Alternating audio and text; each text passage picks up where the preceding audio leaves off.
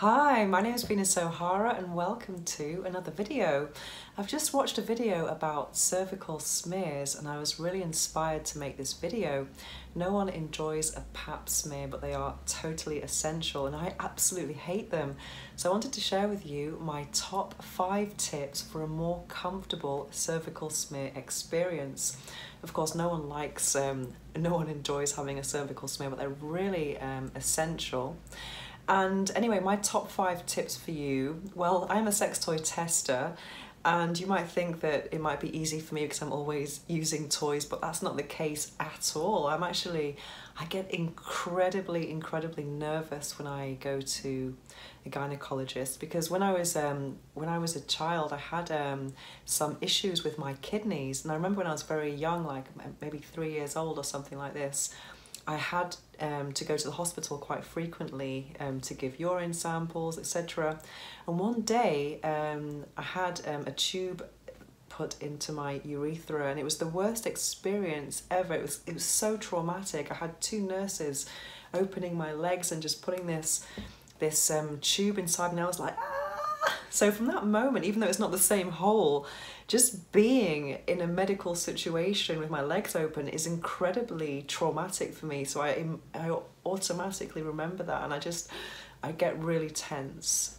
Um, so anyway, here are my top five tips. Um, well, I have um, private healthcare um, here in Spain, and when I go to the gynecologist, I have um, a vaginal um, ultrasound as well.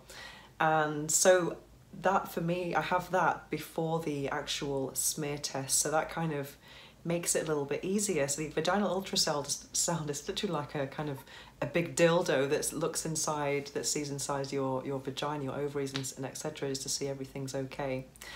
Um, so if I do that first and then have the actual smear test, it seems to be easier, but that's not part of the tips anyway. So my tip number one has got to be to tell the gynecologist that you're feeling nervous or that you're extra nervous about it. Um, obviously, everyone's a little bit nervous in that situation, but but I think it's always a good idea to actually tell the um, gynecologist that you're nervous. They might be a little bit more careful with you, or, or especially when um, just to try and distract you at that moment because they've seen it all before. You know that the nerves, especially not just um, your lady parts. But I think it's really a good idea just to explain that you're nervous, and I always always do that, and which brings me to my next point. I've I was um, I have a wonderful wonderful gynecologist and I told her years ago how nervous I was and I told her about my experience as a child with the um, kidney infection thing and um, she told me would you like the virgin speculum? So, so basically, instead of using the normal speculum to open my vagina, she gets a really small one. So, so it's actually tiny. It's really tiny. I don't know how how big it is, but it's way smaller than the standard one. So I would really um, encourage anyone, if they can, to ask a gynecologist um, if they have a smaller speculum because it makes it a little bit easier in that situation. So I always ask for the smaller one and that's what I get and that's just great. But also when you get to that point of the actual scraping, is still ah mega cringe ah. So for that moment, I have this. This is an incredible thing for stress. I've, I've used this for, for blood tests, um, operations, anything that's a little bit you know, just just really stressful, or even getting my teeth clean, getting fillings. This is what I always bring with me, and the doctors, dentists, or just they think it's a, a pint of Guinness or something I'm about to drink, but I'm not like this. Ah!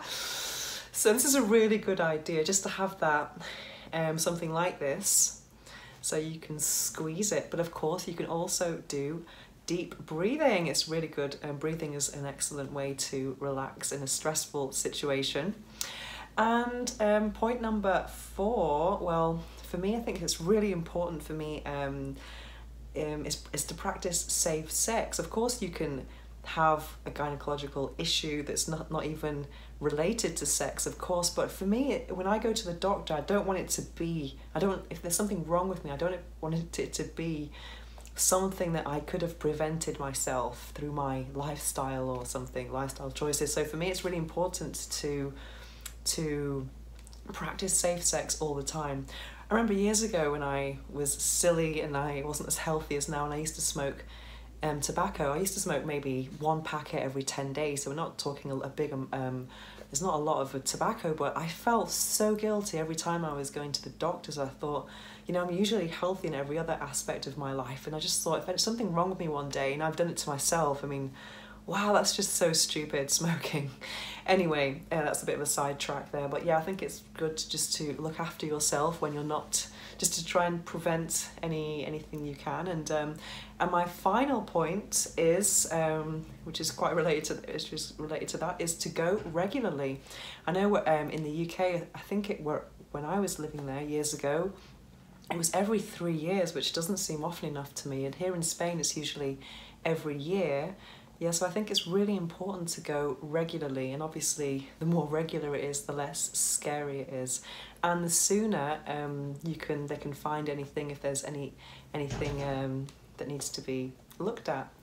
Anyway, I hope this video helps you, and if you have to get a pap smear, um, book your appointment today, and don't worry about it.